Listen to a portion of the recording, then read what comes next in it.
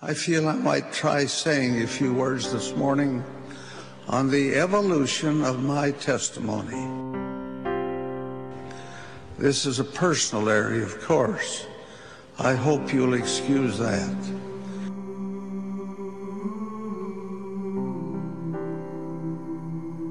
In the beginning was the Word, and the Word was with God, and the Word was God. The same was in the beginning with God.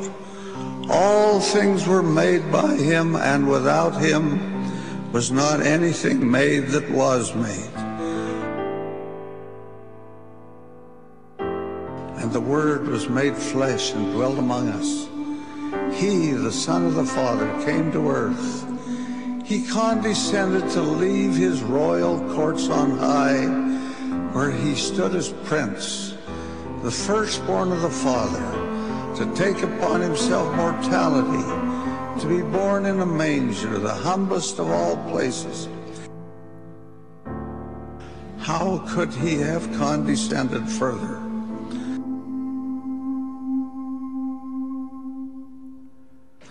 Isaiah foretold of his coming. For unto us a child is born, unto us a son is given, and the government shall be upon his shoulder, and his name shall be called Wonderful, Counselor, the Mighty God, the Everlasting Father, the Prince of Peace.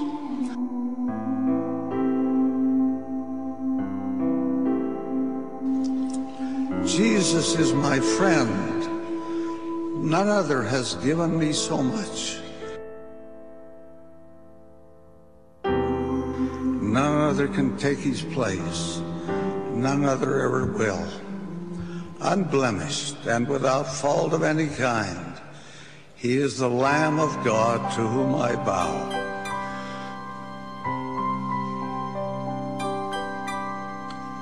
And through whom I approach my Father in heaven.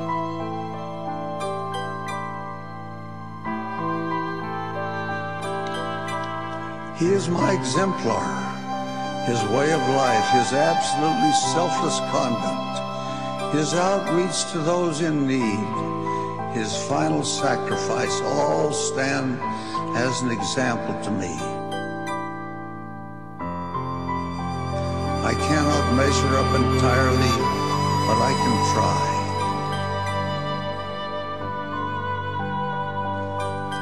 He is my healer.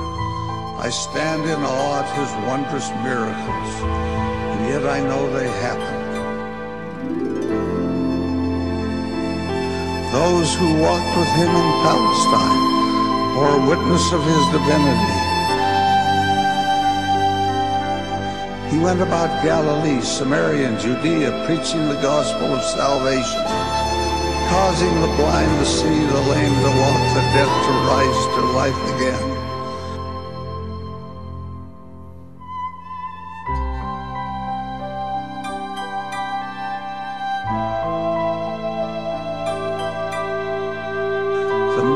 Miracles of his ministry bespeak compassion, love, and a sense of humanity wonderful to behold. He is my leader. I am honored to be one in the long cavalcade of those who love him and who followed him during the two millennia that have passed since his birth.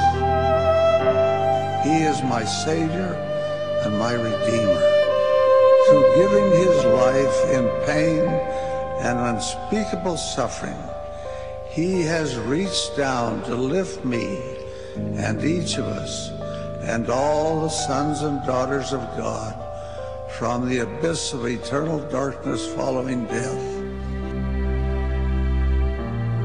He is my God and my King from everlasting to everlasting.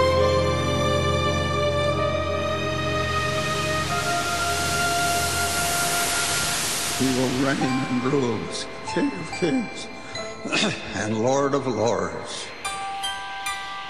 To his dominion there will be no end.